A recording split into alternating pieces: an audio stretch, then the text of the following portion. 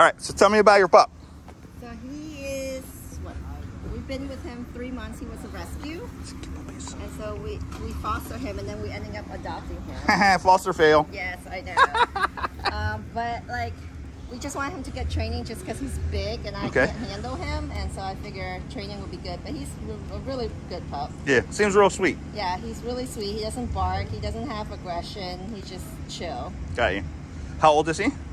He is six months old. All right. Does he know any commands? He knows sit. All right. You want a demo? Is that the only one he knows? He knows hand. Okay. Godric, you want to sit? Sit for mama. Sit. Good boy. Good boy. Pause. And pause. Pause for mama. Good Good boy. boy. That's it. That's All right. No, that's good.